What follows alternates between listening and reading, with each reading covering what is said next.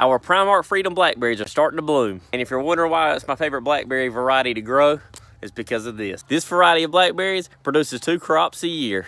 The first crop is ready in the first week of June. And then this new shoot by August will be about four feet tall and give us another crop. This variety gives you the largest blackberries in the United States. And if you're interested in getting any, you can find them in our Etsy shop.